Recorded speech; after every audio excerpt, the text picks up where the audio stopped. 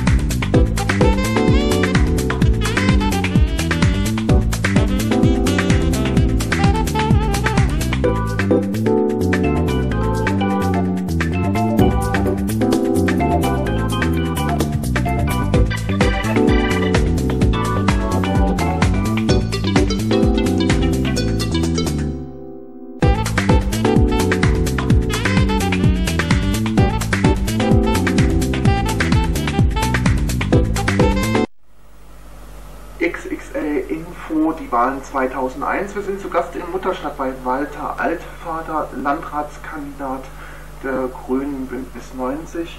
Guten Abend, grüße Sie ganz herzlich. Wann haben Sie denn mit Ihrem politischen Engagement begonnen? 1995 erstmal in der Stadt Ludwigshafen, dann bin ich seit 1997 äh, erst hier äh, in den Vorstand im Landkreis gegangen und bin jetzt seit 1999 äh, Fraktionsvorsitzender im Kreistag. Politik interessiert, hat mich schon als kleiner Junge richtig engagiert, habe ich mich dann später als Schüler. Äh, also ich glaube, mein erstes Amt, das ich hatte, war Delegierter auf dem zweiten Kongress äh, der, äh, wie hießen die damals, Aktion unabhängiger sozialistischer Schüler, das war so eine Art Schüler-SDS. Und ich war natürlich ein großer Fan von Rudi Dutschke und war auch ähm, ein großer Verehrer der Ulrike Meinhof, äh, solange sie noch nicht äh, mit äh, Pistolen Politik gemacht hat, nicht bei den Grünen. Du hast schon gesagt, solange sie noch nicht mit Pistolen Politik gemacht hat, kann man mit Pistolen überhaupt Politik machen. Ich war das Eingreifen der NATO damals im Kosovo-Krieg Ihrer Ansicht nach richtig? Oder hätte man sich versuchen sollen, eher politisch stärker zu engagieren? Durch ja, also ich denke, äh, dass das Kind schon sehr lange vorher in den Brunnen gefallen ist. Also das äh, Kosovo war ja nur der Schlusspunkt von einer sehr langen Entwicklung. Und da gab es ja bei uns sehr harte Auseinandersetzungen, wie man darauf reagiert. Ja. Und ich denke, da gibt es zwei Haltungen, die, also, oder, oder, da gab es, das sind viele Fehler gemacht worden. Also erstmal, dass man äh, von Deutschland aus äh, ermutigt hat, äh, sich selbstständig zu machen, ohne die ganzen strittigen Fragen zu klären. Das war das erste Mal, dass Deutschland auch wieder kriegsführende Partei war. Ne? Mhm. Das ja auch sehr umstritten Ja, aber ich denke halt, sagen wir mal so, Fischer und äh, Schröder und überhaupt die rot-grüne Regierung sind in eine Situation reingeraten, ja, wo eigentlich die Weichen schon alle gestellt waren. Pfälzer, Sie wohnen in Mutterstadt. Welchen Bezug haben Sie zur Pfeil? Also sagen wir mal so, ich bin kein Leberwurstpfälzer. Und also dieses ähm, Pfälzer Land, wie schön bist du, das äh, ist mir auch nicht so besonders sympathisch, weil dieses äh, Hochleben lassen, habe ich auch festgestellt, machen oft auch Leute, die zugezogen sind, die gar nicht von hier stammen. Ähm, die Pfalz ist meine Heimat ne? und ähm, Heimat ist ja immer das, wo man äh, als Kind seine Wurzeln geschlagen hat. Und wenn man halbwegs äh, wir, gut gelebt hat als Kind oder eine schöne Kindheit hatte, dann ist das so, nicht gerade das Paradies, aber äh, sagen wir, das, äh, was dem am nächsten kommt. Ne? Behauptet jedenfalls Bloch in seinem Prinzip Hoffnung. Und deswegen ist das auch immer eine Sehnsucht, Heimat in uns. Ne? Dass wir äh, was erreichen, also einen Zustand erreichen als Menschen, wo wir glücklich sind, wo wir uns geborgen fühlen, ne? wo, wir, wo wir uns einfach wohlfühlen. Ne? Und insofern äh, ist die Pfalz halt das Land, in dem ich das erlebt habe und deswegen ist das meine Heimat und deswegen hängt die mir natürlich auch besonders im Herzen. Als Landrat müssten Sie auch Werbung für die Heimatpfalz machen und die Pfalz ja auch repräsentieren, zumindest ist ein Teil der Pfalz. Ja, ich denke, äh, damit hätte ich nicht keine Probleme. Glauben Sie, die komplexen, unterschiedlichen Standpunkte in der Vorderpfalz im Kreis, also im Sinne des Landkreises, vereinigen oder unter einen Hut bringen zu können? Also ich denke, äh, wenn man sagt, man will Politik machen, ja, dann muss man sich immer vornehmen, komplexe und unterschiedliche Standpunkte auch mal unter einen Hut zu bringen. Weil das ist, denke ich, ein wesentlicher Teil auch äh, von Politik, dass man das schafft. Und daran, ob man das unterscheidet sich auch gute von schlechter Politik. Also insofern denke ich, müsste das schon ähm, äh, müsste ich das schon machen. Was Vereine und Ehrenamtliche im Landkreis tun, wenn sie Landrat wären? Das sind natürlich jetzt, also ich meine, verschiedene oder mehrere Fragen in einer. Also was die ehrenamtlich oder überhaupt das Ehrenamt. Ja, die Ehrenamtlichen sitzen ja in den Vereinen, sei es Sportvereine, sei es Kartclubs, sei es jetzt Naturfreunde. Mhm. Das wird ja alles von Ehrenamtlichen gemacht, bis ja, ganz wenige ja, Funktionen, die ja. man hauptamtlich aus. Ja, ja, klar. Das sind ja dann doch in der Minderheit auch. Ja.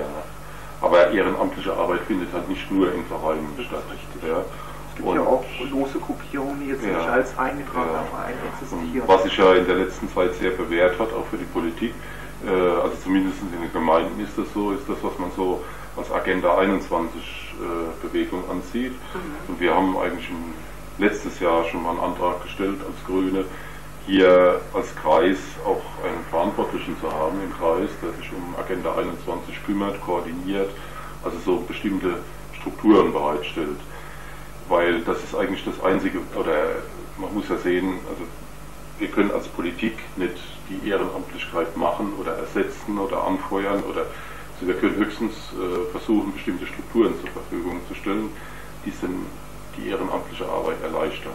Ja?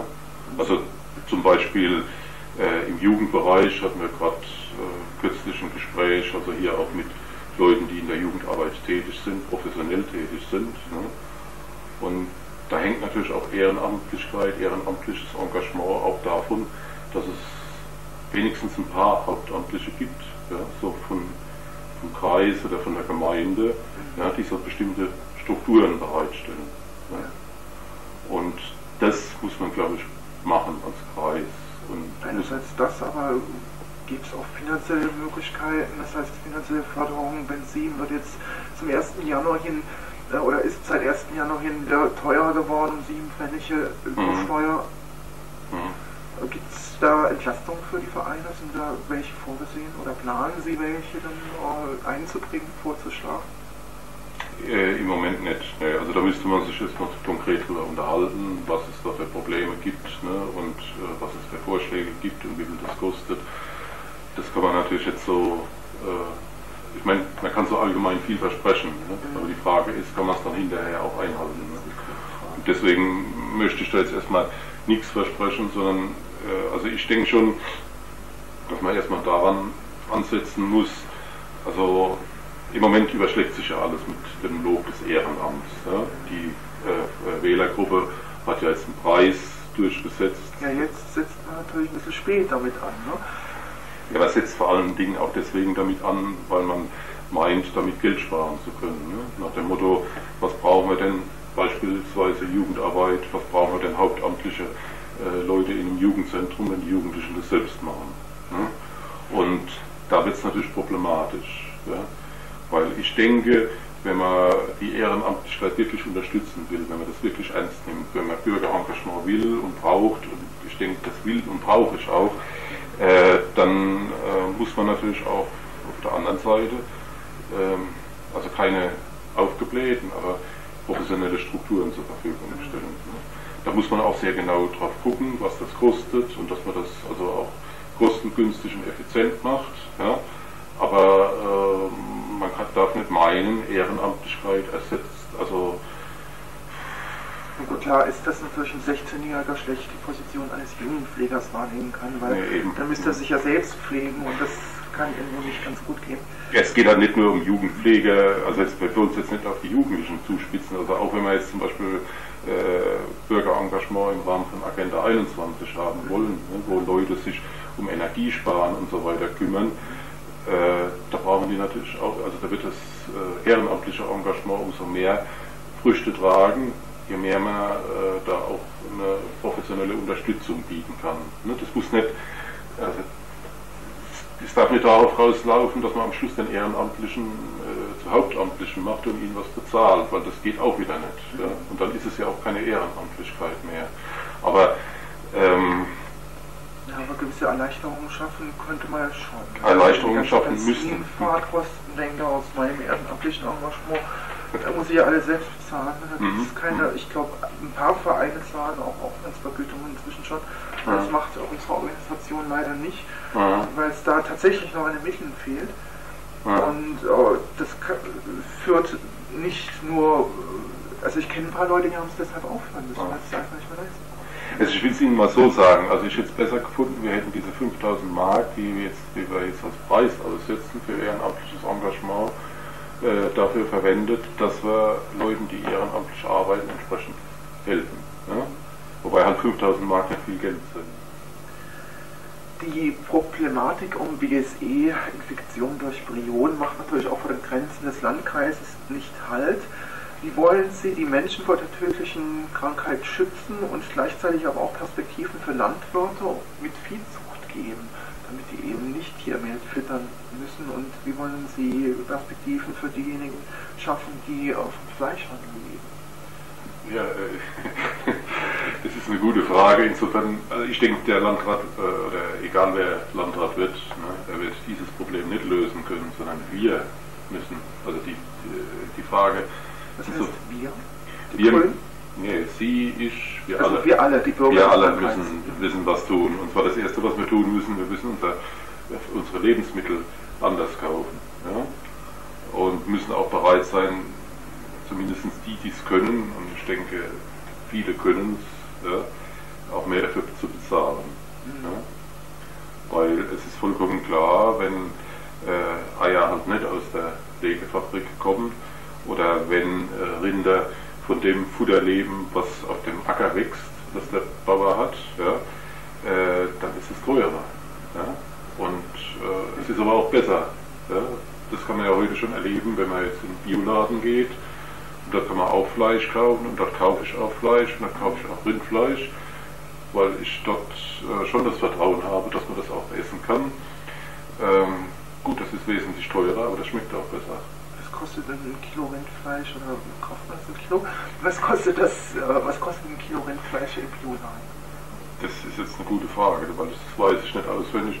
Ich weiß nur, dass wir, dass wir letztens mal zwei Schweinekoteletts geholt haben und die haben 10 Mark gekostet. Mhm. Allerdings ist ja auch schon vorgekommen, dass nicht überall äh, dort, wo Bio draufsteht, auch Bio drin ist. Ne? Also das muss man halt kontrollieren. Mhm. Äh, erstens mal werden, da wird das schon äh, relativ gut, also von den entsprechenden Verbänden, Bioland oder Demeter oder so kontrolliert. Äh, zweitens soll jetzt auch ähm, ein Siegel, also ein staatliches Siegel nochmal geschaffen werden, wo das Ganze zusammengefasst wird, damit die Leute nicht auf 25 Zeichen achten müssen, sondern damit man eins hat, wo man sich dran orientieren muss. Und dann muss man halt auch für entsprechende Kontrollen sorgen.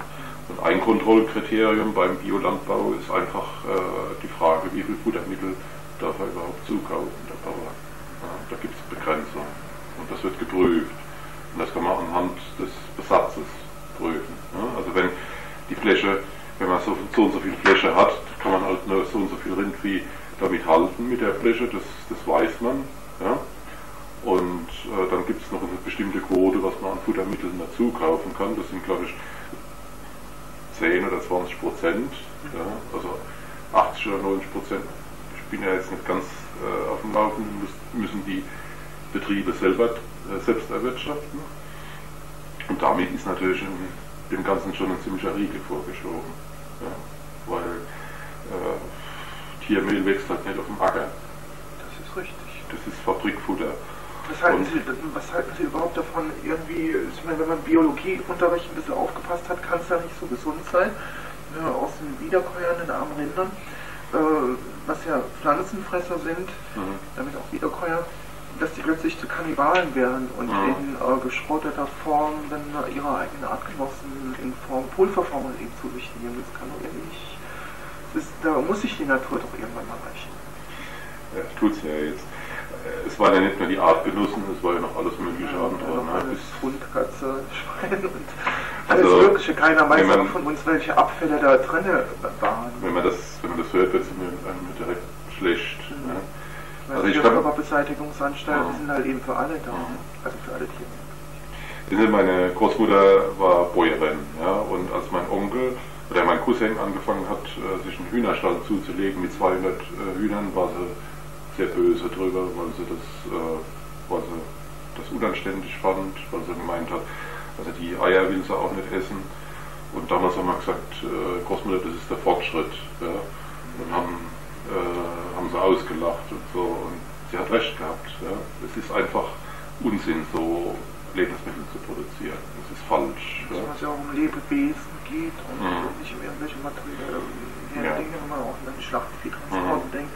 Mhm. Jetzt mit, äh, der Trend geht ja jetzt doch wieder zu Freilandeiern, das ist mhm. was Gutes. Mhm. Wodurch ist Ihrer Auffassung nach der BSE-Skandal entstanden? Was hat dazu geführt und gibt es Auswege aus der Krise? Ja gut, äh, entstanden ist er durch, durch die Tiermehlverfütterung, beziehungsweise jetzt halt auch durch dieses äh, Kälberfutter, also dadurch, dass man praktisch die, die, die Kadaver verarbeitet und wieder verfüttert hat. Also insofern ist der Ausweg aus der Krise das, was jetzt auch die Regierung beschlossen hat, nämlich äh, das Verbot des Tiermehls. Es sind ja dann auch noch Milchaustauschstoffe im Gespräch. Seit äh, kurzer Zeit diskutiert man auch, dass BSE direkt über Hautkontakt hm. ansteckend sein soll. Beunruhigt Sie das? Also da bin ich jetzt erstmal äh, also etwas zurückhaltend mit solchen Sachen. Ich denke, wenn, äh, wenn so eine so eine Sache kommt, jetzt wie BSE, dann wird am Schluss halt, wird halt auch viel äh, äh, gemutmaßt, was sonst noch alles passieren könnte. Ich denke, die Konst also wir sollten uns auf das Tiermehl konzentrieren und also die Sache abschaffen und dann mal weitersehen und dann bin ich eigentlich optimistisch, dass das auch was bringt äh, und dass das eine ganze Menge bringt. Wäre es vom Ansatz her nicht vernünftiger zu sagen, dass man auch die Fleischproduktion runterfährt, also drosselt? Also wenn Sie Fleisch äh, so herstellen, dass also die Tiere artgerecht gehalten werden. Ne? Das, also Aber Deutschland ist ja jetzt nicht das größte Flächenland. Ja, ja. Texas ist fünfmal so groß wie die Bundesrepublik. Ja, trotzdem, wenn Sie das über, wenn Sie das, also wenn Sie das erstmal in Deutschland so anfangen, dass Sie artgerecht halten, da wird zwangsläufig der Fleischkonsum runtergehen. Äh, weil es halt dann auch teurer wird. Ne? Ähm, aber die Frage, die wir uns stellen müssen, ne, ist, ist es nicht besser, wenn wir uns Lebensmittel leisten, ja, die vielleicht etwas teurer sind, die wir uns auch jetzt beim Fleisch dann nicht so oft leisten können, die aber dafür auch besser schmecken. Ja, also ich will jetzt ja nicht nur also von der Gesundheit äh, will ich jetzt mal gar nicht reden, ne, die äh, für uns alle auch wichtig ist, aber äh, Essen, gut zu essen, ne, Spaß beim Essen zu haben, ist, ist, gehört, ist doch eine der wichtigsten Dinge im menschlichen Leben. Und wir können doch nicht äh, meinen, wir müssten dafür, also wir bräuchten dafür jetzt gar nichts mehr auszugeben oder äh, da da jetzt überhaupt nicht, also uns vom letzten Dreck dann zu ernähren, ist, ist eigentlich keine. Also Qualität steht, ist, äh, hat eine größere Bedeutung für Sie als Qualität. Denke ich, ja. Auch für statt Auch für unsere Gesundheit ist es, glaube ich, besser. Das kommt ja noch der Ernährungsbericht. Das aber Sie sagen, mehr ist, äh, weniger ist mehr. Ich denke, ja. Auch wenn es dann teurer ist. Ja, es gibt ja so eine, so eine Bewegung, der sich auch schon viele Spitzenköche angeschlossen haben, unter anderem auch der Vinzenz äh, Klink, die äh, Slow Food. Hm? Den Parteien und Vereinen laufen Mitglieder weg, weil sich Ehrenämter nicht mehr lohnen. Unsere international gemeinnützige tätige Organisation, die Pilgrim Human Resource Management Agency, News Association Foundation, arbeitet ehrenamtlich. Ohne ehrenamtliches Engagement würden etablierte Systeme zusammenbrechen. Wir wollen die Menschen aktivieren und davon überzeugen, dass Ehrenämter wichtig sind und diese gewürdigt werden. Wie wollen Sie ehrenamtliches Engagement, sei es im Verein oder in freien Strukturen, mhm. ja, wieder attraktiver machen? Wie wollen Sie Menschen für Politik begeistern? Ich denke, die, also es ist mehr eine Struktur, also die, die Bereitschaft, sich ehrenamtlich zu engagieren, ist da äh, die Bereitschaft, äh, sich in feste Strukturen einbinden zu lassen, das ist das, was schwindet. Das heißt, äh, man muss sich auch ein bisschen umstellen von den Vereinen, auch von den Parteien ähm, und auch von der Politik. Und man muss mehr Angebote auch für ehrenamtliches Engagement machen, die, sagen wir mal, projektbezogen sind, auf Zeit. Und es ist ja auch kein Fehler, wenn jetzt zum Beispiel Leute sagen, ich will mich ehrenamtlich betätigen, aber da soll auch für mich insofern was dabei rauskommen, dass mir das Spaß macht, äh, dass mich das weiterbringt, dass ich was dabei lerne. Das ist ja alles gar nicht verkehrt. Ich meine, man kann ja nicht mit dem Anspruch an die Leute rangehen, dass ein Ehrenamt wehtun muss, ne, dass es Verzicht sein muss. Äh, niemand wird sich doch äh, längere Zeit für irgendwas engagieren, wenn er nicht auch irgendeinen Spaß, irgendeine Freude dabei hat. Ja. Also insofern sehe ich das mit der Krise nicht so ganz. Also auch was die Politik angeht, äh, gibt es meines äh, Erachtens mehr eine Politikverdrossenheit. Also, Wie wollen Sie die angehen?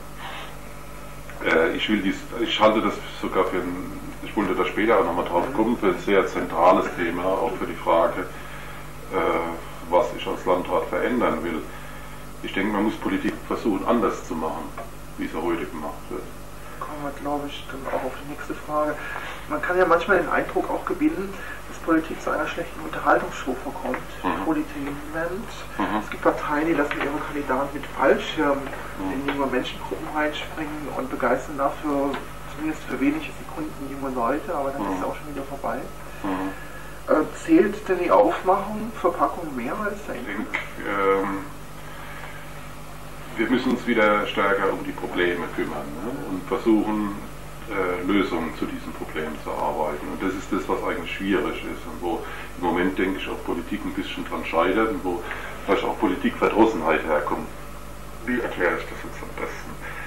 Verstehen Sie, wenn Sie äh, jetzt, so wie ich, im Kreistag sind oder erst recht, wenn Sie Landrat sind, dann ähm, haben Sie jeden Tag, werden Sie mit tausend Sachen konfrontiert, von denen sie meistens keine Ahnung haben. Ich will gerade einmal erklären, was eigentlich das Problem ist. Das Problem ist, man kann nicht Fachmann in allem sein. Ja?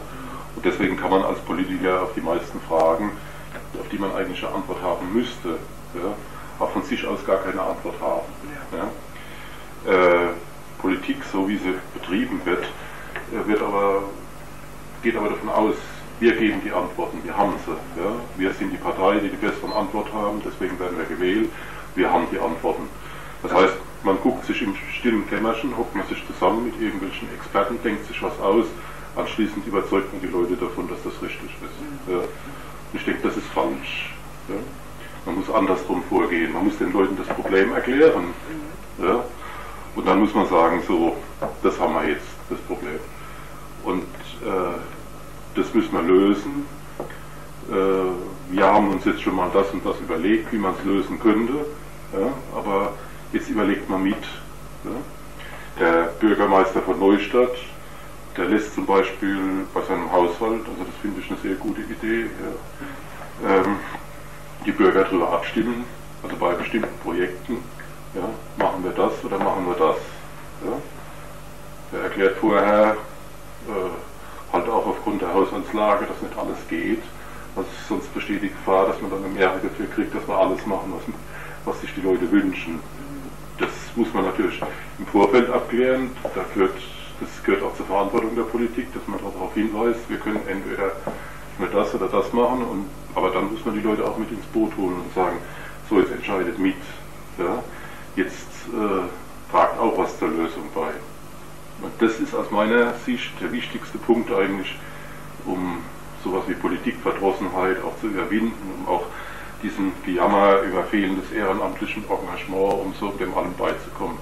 Und wenn man, ich denke, wenn man so auf die Leute zugeht und das so macht, ja, dann klappt es auch. Ja.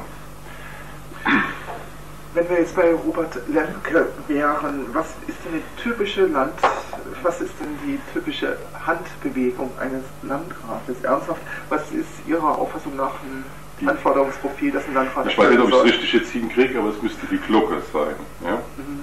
Weil der Landrat sitzt ja vor. Ja? Der Landrat muss moderieren. Mhm. Der Landrat muss in der Lage sein, wenn jetzt, äh, wenn es jetzt hier verschiedene Meinungen gibt, jetzt sowohl in den Bürgern, äh, bei den Bürgern als auch bei den Parteien zu versuchen, das auch zusammenzufassen. Ne? Das ist, denke ich, die wichtigste Fähigkeit und das ist auch eine sehr schwierige Fähigkeit. Also das ist das, was, ja schon, was Sie schon in der ersten Frage angesprochen haben, äh, ob man in der Lage ist, irgend, äh, komplexe und unterschiedliche Standpunkte zusammenzubringen. Das muss man, das muss man, das muss man, glaube ich, können und das ist mit das Schwierigste. Ja. Was sind Ihre sieben wichtigsten Missionen für den Landkreis Ludwigshafen? Mhm. Also vorhin habe ich ja schon äh, eine Vision eigentlich angesprochen. Also ich möchte gern, dass der Landkreis Ludwigshafen ein Landkreis ist, in dem in Sachen Energie sparen, aber auch Energie gewinnen, ja, äh, also ein Vorbild ist, also wo wir sagen, wir, wir haben ja, wir können ja mit rechnen, dass wir in 50 Jahren kein Erdöl mehr haben. Ne? Das sind äh, relativ seriöse Schätzungen und ich wünsche mir halt einen Landkreis, also dass wir im Landkreis die Ersten sind, äh, die das auch schaffen, nicht nur von der sonnigen Pflanz reden, sondern auch äh, Sonne, äh, oder Solaranlagen aufs Dach. Und nicht nur das, sondern auch Energie sparen.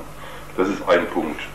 Ein anderer Punkt, ich wünsche mir natürlich auch einen Landkreis, in dem man nicht nur über den öffentlichen Nahverkehr redet, sondern in dem man ihn auch benutzt und auch gut benutzen kann, ne? weil es Spaß macht und bequemer ist, damit äh, zur Arbeit zum Beispiel zu fahren als mit dem eigenen Auto.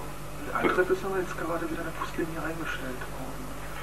Nee, die Buslinie in Altrip ist nicht eingestellt worden. Oder man wollte sie einstellen. Es gibt Diskussion, ist, ähm, das ist ein längeres Problem. Also die äh, Buslinie soll plötzlich 230.000 Mark den Landkreis kosten. Ne? oder 250.000. Und jetzt hat man darüber diskutiert, ob man nicht sonntags den Bus einstellen kann und dann kostet noch 170.000. Ne? Wobei äh, das Erstaunliche ist, wie so ein Betrieb also jahrelang fährt, also wie die VGL in Ludwigshafen, und jetzt einmal erst entdeckt, dass man jedes Jahr eine Viertelmillion Verlust macht. Das hätte man eigentlich schon ein bisschen früher merken müssen. Großbus, der da eingesetzt ist? Oder ist es ein Ruftaxi? Nee, nee, das ist ein Bus, der eingesetzt wird. Und was wir jetzt vorgeschlagen haben im Zusammenhang mit Altrip, ist, dass man einfach mal äh, Nahver den Nahverkehr ausschreibt. Und das soll auch ab 2003 passieren. Dass man auch kleinen Busse beispielsweise und andere Wettbewerber zum Zuge kommen lassen. Dass man andere Wettbewerber zum Zuge kommen lässt.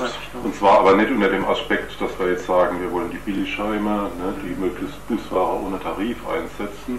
Das wäre eher schlecht. Ja? So mit klapprischen Bussen und mit Leuten, äh, mit Busfahrern, die äh, stinkgestoßen sind, dass sie überhaupt drin sitzen müssen, weil sie schlecht bezahlt werden. Das wäre nicht das, was wir brauchen. Was wir brauchen, sind Unternehmen, die sich Gedanken darüber machen, wie sie die Busse voller kriegen. Ne? Und wie sie, ähm, indem sie äh, da eine Verschlechterung oder dort eine Verschlechterung machen, die, die Busse noch mehr, noch leerer machen, wie sie jetzt sind. Aber das ist ein großes Thema, ähm, denke ich, was wir ändern müssen. Das andere große Thema haben wir auch schon angesprochen, jetzt in Sachen äh, BSE, äh, dass ich mir halt auch einen Landkreis wünsche, äh, wo die Landwirtschaft äh, etwas weniger industrialisiert ist als heute. Wie soll das aussehen in der Praxis? Äh, also ich stelle mir das ich stelle mir das Modell vor, was im Moment ja in den Gemeinden bei Agenda 21 relativ gut äh, läuft. Ja? Dass man die Bürger dass man äh, das Problem, was ich Ihnen vorhin genannt habe, dass wir als Politiker ja, Politiker ja keine Experten sind. Ja? Dass wir aber jede Menge Experten haben. Für jeden Themengebiet haben wir im Kreis irgendwo einen sitzen, der sich da mit Sicherheit genauso gut oder besser auskennt als äh, alle möglichen Experten, die wir für viel Geld wohl bezahlen können. Und das wäre eigentlich der Hauptansatzpunkt, denke ich, dass wir äh, sowas aufbauen und sagen, wer meint, er ist in dem unter jedem Gebiet beschlagen und kann uns auch beraten, kann uns auch mit Rat und Tat zur Seite stehen, der soll sich bitte melden seine E-Mail-Adresse hinterlegen zum Beispiel und dann äh, holen wir ihn auch an, drittbeste Entscheidung treffen, jetzt nicht aus bösem Willen ne, als Politiker, sondern einfach, weil wir keine bessere Idee haben oder weil wir auch von Experten nichts Besseres vorgeschlagen kriegen. Ja? Und das kann man ändern. Das wäre also, denke ich, auch eine wichtige Vision über das, was man hier im Landkreis eigentlich ändern müsste. Welche Ziele, welche Veränderungen wollen Sie in den kommenden fünf Jahren, sofern Sie Landrat werden? Ja, noch ein wichtiges Thema wäre im Zusammenhang mit den nächsten fünf Jahren wäre auch ein entsprechender Umbau der Verwaltung, ja, eine Umorientierung, Umorganisierung der Verwaltung. Das, was jetzt schon angekündigt wird, was aber halt noch sagen wir, im Moment noch Theorie ist, dass man auch sowas wie eine virtuelle Verwaltung hat, dass man äh, die Verwaltung äh, nicht einfach ins Kreishaus fahren muss, dass man sie auch von zu Hause erreichen kann, dass man es überhaupt besser erreichen kann. Ähm, ich denke, der ganze Stil, wie die Verwaltung arbeitet, muss auch umgestellt werden. Bedeutet das auch, dass Sie Verwaltung abspecken wollen? Das glaube ich eher weniger, weil der Herr Bartolomé war ein sehr sparsamer Landrat, ja, also gerade was Personalkosten angeht. Und ich sehe eher, dass es, dass es eine um Orientierung geben wird. Ja? Also es gibt keine Entlastung, jetzt es wird nicht äh, 50% des Personals von der Kreisverwaltung zum Stellen fürchten müssen. Es gäbe dafür auch gar keine Notwendigkeit, äh, jetzt auch von der wirtschaftlichen Situation des Landkreises her. Und ähm, ich halte davon auch gar nichts von solchen Dingen, also von so einer Vorgehensweise. Wird es Ihnen neue Einstellungen geben? Ja, wenn man sie braucht, wenn sie notwendig sind, ja. Äh, aber ich kann Ihnen jetzt nicht so generell äh, einen, Beschäftigungs einen Beschäftigungsaufbau versprechen, ne? sondern es ist vollkommen klar, also wenn, wenn ich jetzt zum Beispiel daran denke, seine Politik jetzt im Bereich von, von Jugendpflege, von Sozialarbeit, ist die Politik des jetzigen Landkreisrates ja sehr restriktiv, ja? nach dem Motto, ja, keine Bedürfnisse wecken. Und das halte ich schon teilweise für ein Problem. Ja? Weil es geht gar nicht darum, dass man Bedürfnisse weckt, sondern es geht darum, dass halt in bestimmten Bereichen vielleicht auch Bedürfnisse da sind, ne? wo man sich dann als äh, Landkreis und als Landrat dann auch von seiner Arbeit und von seiner Pflicht drückt, wenn man das nicht macht. Ne? Auf der anderen Seite gibt es natürlich schon auch äh, Einsparungspotenzial im Bereich der reinen Verwaltungstätigkeit. Ja? Insofern sehe ich da eher eine, eine Verlagerung. Ja? Also man muss die Verwaltung äh, so einfach und so rationell wie möglich machen, damit man Zeit hat für die Bürger ja? und für entsprechende Serviceleistungen der Bürger. Das müsste eigentlich die Richtung sein. Es bringt aber überhaupt nichts, glaube ich, auch was Motivation und Leistungsfähigkeit angeht, wenn man den Leuten immer mit dem Rausschmiss droht. Ja? Wie das oft auch in der Industrie gemacht wird das macht die Industrieunternehmen, in denen das so gehandhabt wird, nicht unbedingt produktiv. Rat Werben spielt die Stadt, in der Ihr Arbeitgeber ein Großunternehmen sitzt, für Sie künftig dann eine Nebenrolle oder werden Sie bisher nicht gemeint, äh, bekannte gemeinsame Wege zwischen Stadt und Ludwigshafen, den Landkreis, angehen? Zu so, einer zu so einer Kooperation gehören natürlich immer zwei und muss man erstmal sehen, was da geht. Ansonsten wird sich ja, wenn ich äh, äh, Landrat werden würde, äh, an meinem Arbeitsweg so gut wie gar nichts ändern. Ne? Ich müsste nur über die Straße und hätte den gleichen Fahrradweg wie bisher. Also ich glaube schon, dass, äh, also wir versuchen ja heute schon als Grüne im Landkreis und in der Stadt zu kooperieren und natürlich würden wir das dann auch weiter tun. Natürlich würde ich das versuchen, auch mit anderen zu tun, in Ludwigshafen zu kooperieren. Ich habe Ihnen auch vorhin schon gesagt, wir müssen nicht mehr mit Ludwigshafen kooperieren, wir müssen auch mit Frankenthal und Speyer, weil wir sind immer Umland. Ja? Und natürlich äh, kann man eigentlich Umland und die jeweiligen Städte nicht getrennt sehen. Ja? Und äh, die Entwicklung geht schon äh, im großen Teil im gleichen Takt und man muss sich auch überlegen, Sie wollen, dass der Landkreis Ludwigshafen grüner wird, dass es ein grüner Landkreis wird. Mhm. Wenn dieses Projekt äh, ja, zum Tragen kommt, dann wird es doch ein ziemlich großes graues Bauwerk geben. Die Rheinbrücke Altrip. Die einen sagen, wir brauchen die Brücke, mhm. die anderen sagen, der Bau der Rheinbrücke käme einer ökologischen Katastrophe gleich. Andererseits braucht man die Brücke dann wieder zur Anbindung. Wird es mit Ihnen als Landrat die Rheinbrücke bei Altrip gehen? sicher nicht. Äh, ich war 79, äh, damals habe ich in Rhein-Bönheim gewohnt, eines der aktiven Mitglieder dieser äh, Bürgeraktion Rette den grünen Süden, die die Rheinbrücke bis jetzt verhindert hat. Ich schätze auch an dem bisherigen Landrat, an Herrn Bartolomé sehr, dass er ein entschiedener Gegner der Rheinbrücke ist. Und äh, ich finde es schade, wenn mögliche Nachfolger, wie zum Beispiel der Herr Elster, in der Beziehung eher äh, eine Pro-Position vertreten. Zumindest habe ich das schon so aus der Zeitung gelesen. Ähm, also ich halte die Rheinbrücke nicht für eine ökologische Katastrophe. Da haben wir uns ja über andere Dinge unterhalten, BSE und so weiter, die eher diese Wertung verdienen. Aber es zerstört ein Landschaftsschutzgebiet, äh, es zerstört auch Naturschutzflächen, äh, es schadet den Menschen in Altre. Und bis jetzt äh, kenne ich keine mich überzeugenden Argumente, warum man sie braucht, was eigentlich bringt. Ja, ich weiß, höre nur immer, die IHK Rhein-Neckar oder Mannheim äh, möchte sie gern. Manchmal hört man auch von der BASF, dass sie sie gern möchte, aber das sind für mich noch keine zwingenden Argumente, dass man sie auch wirklich braucht. Der Architektenbeirat des Landkreises will künftig mehr Mitspracherecht bei großen öffentlichen Bauvorhaben Altlastensanierung wie etwa die Sanierung des Architekten dazu. Ja. Und dann ist es nicht unbedingt richtig, wenn man sagt, ich habe jetzt äh, einen Architekt, der steht vielleicht mehr der CDU nah und den anderen äh, steht der SPD nah und das reicht. Ja. Äh, ich würde das auch nicht durch einen ersetzen, der jetzt mit dem Grünen nahe steht, sondern ich meine einfach. Gut, der Architektenbeirat ist ja ein unabhängiges Gremium, das ja weder parteilich noch sonst irgendwie gebunden Gut. ist da kann man nicht immer äh, 100% davon ausgehen, weil natürlich äh, haben Architekten auch Interessen, auch wenn sie im Beirat sitzen. Aber man kann wenigstens damit rechnen, wenn man jetzt mehr als einen Architekten hat, ne, so eine 5, 6, dass die sich gegenseitig ein bisschen mit ihren unterschiedlichen und auch Eigeninteressen äh, kontrollieren und dann am Schluss äh, eine qualifizierte Architektenmeinung rauskommt, die mit Interessen gebunden ist. Ne. Also nicht an irgendwelchen finanziellen Interessen. Mhm.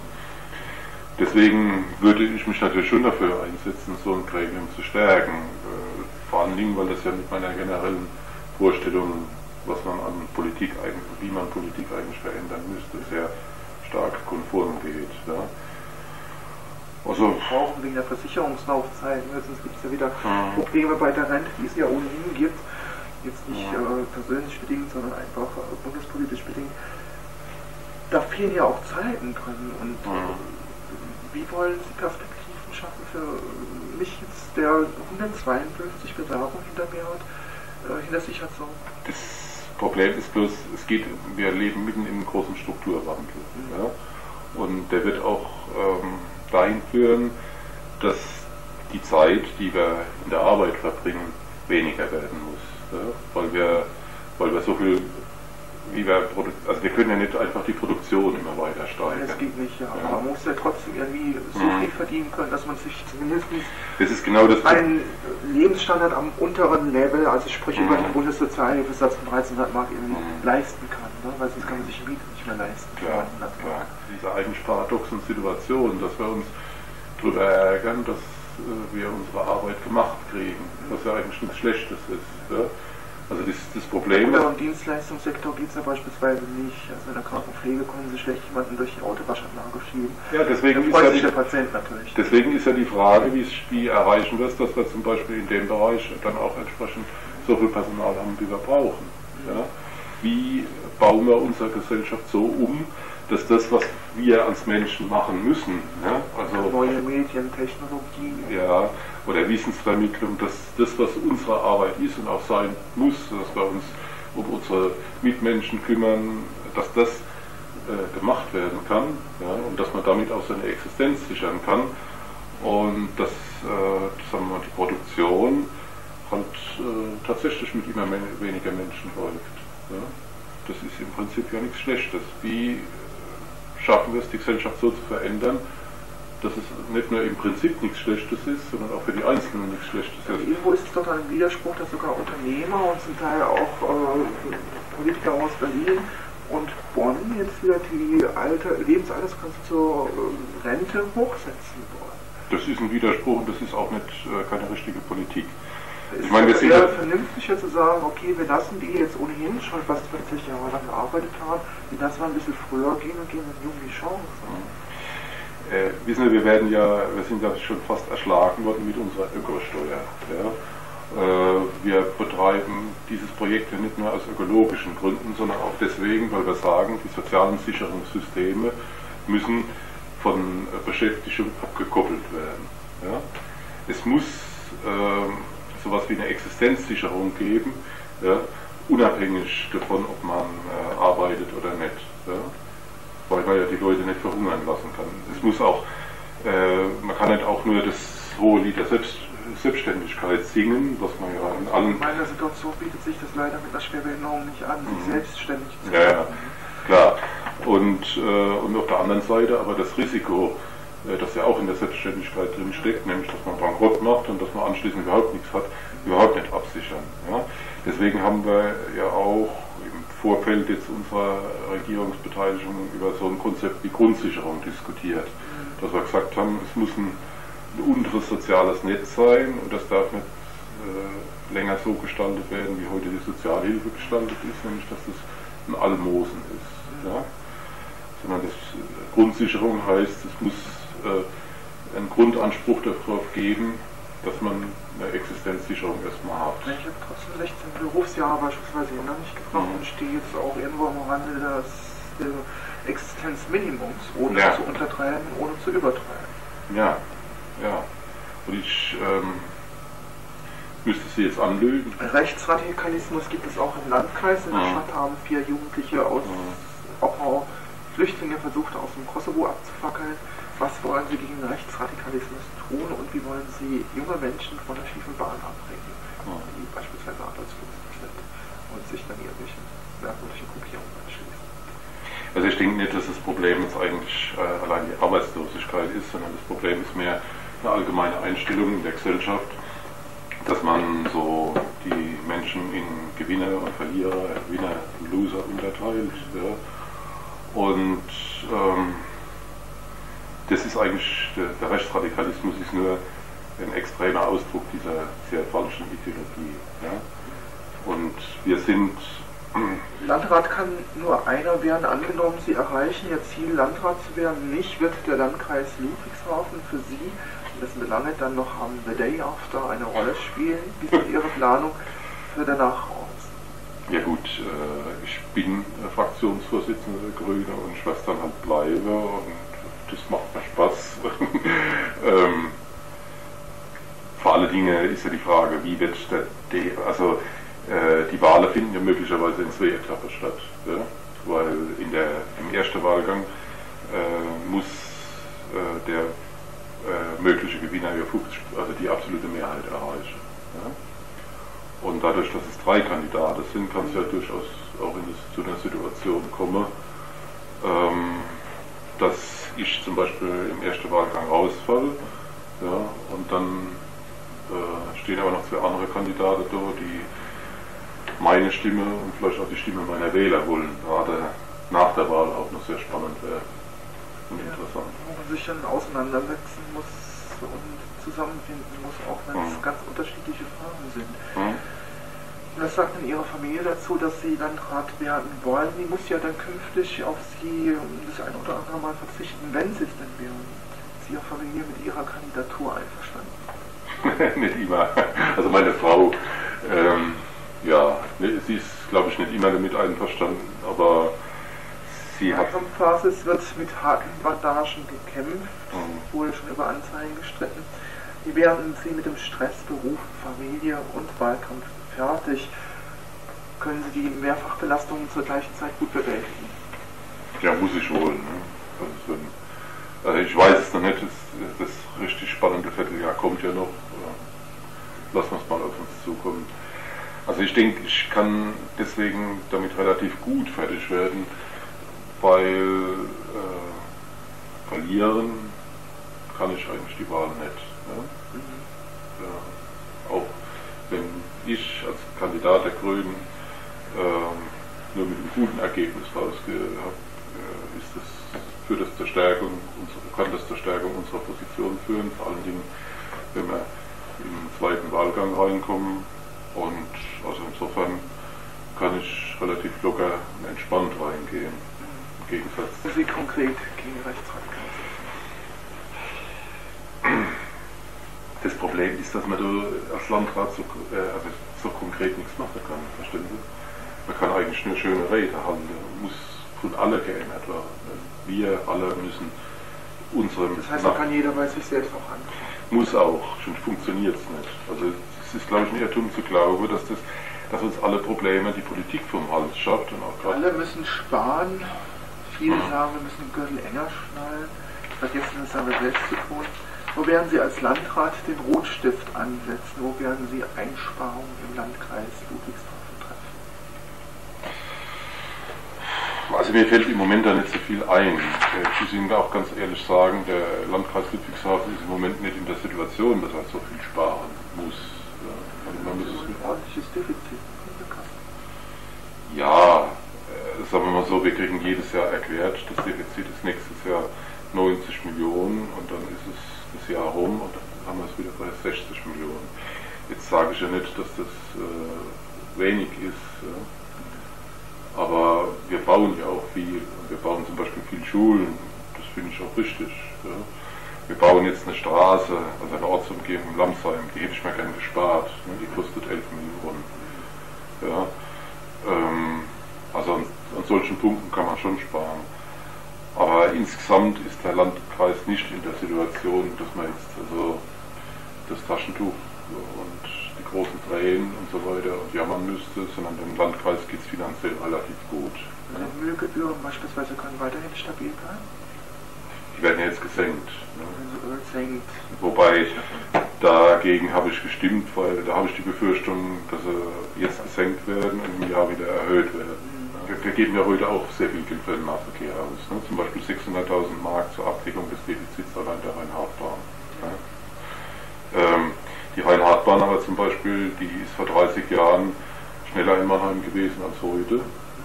Insofern ist es auch kein Wunder, dass wir dort ein Defizit haben. Ne? Ähm, die Frage ist, wie kriegen wir sowas wie die Rhein-Hart-Bahn oder, oder auch die Busse oder so voll, so, dann haben wir auch kein Defizit wo könnten Sie sich vorstellen, am 1. Mai zu sagen? beim Straßenbau. Obwohl es viele Schlaglöcher hier direkt gibt. Ja, bei den Schlaglöchern würde ich nicht Nein sagen. Aber ja, ähm, also das ist mit Sicherheit ein Punkt, wo ich ein sparsamer Landrat werde. Wobei der alte Landrat da auch schon sparsam war. Ja. Und wir ja eher hoffen, dass es jetzt durch den Wechsel nicht dazu kommt, dass man plötzlich da in dem Bereich nicht mehr sparsam ist. Ja. Wie würden Sie die Bürger entlasten hinsichtlich der Ökosteuern? Nun kommen ja die, ist der Landkreis, was die Bürger anbelangt, Spitzenreiter in Sachen Pendeln, viele arbeiten Mannheim, in Firmenheim und was weiß ich wo überall. Oder in Speyer, Frankenthal. Ludwigshafen, wie würden Sie die Menschen entlasten, was berufliches Ja gut, es gibt ja jetzt die Entfernungspauschale ab 1. Januar. Ist Ihrer Ansicht nach richtig? Das- Ausreichend? Das ist äh, meiner Meinung nach äh, richtig und ausreichend. Ja. Richtig vor allen Dingen deswegen, weil ich als Fahrradfahrer jetzt auch Geld kriege. Ja, und das gleiche, wie wenn ich mit dem Auto fahre. Ja. Das ist eigentlich nicht einzusehen, warum ich bisher weniger gekriegt habe. Ja. Und ich denke auch, das ist ausreichend. Politiker einsparen. Auch bei Verzicht. Es sind ja neulich die Diäten wieder erhöht worden auf 1273 Mark auf den etwa. Es ist nicht wenig Geld pro Monat. Ja. Es sind etwa, als Krankenpfleger habe ich so etwa mit 2,4 verdient. Das sind etwa 6 Gehälter eines Ja. Krankenpflegers oder einer Krankenschwester. Ähm, natürlich muss auch bei den Politikern gespart werden. Wobei ich denke, verstehen Sie, auf der anderen Seite, Demokratie kostet auch Geld. Ich denke, wir müssen unsere Staatsfinanzen wieder in Ordnung bringen. Danke fürs Gespräch und Ähm. ja, vielleicht haben wir auch dann bald die Gelegenheit, alle drei Kandidaten Mhm. gemeinsam in einem Hearing vorzustellen. Mhm. Ich wünsche Ihnen alles Gute und Gesundheit. Ja, ich danke mich, bedanke mich für die Gelegenheit, hier mal meine Vorstellungen vortragen zu können.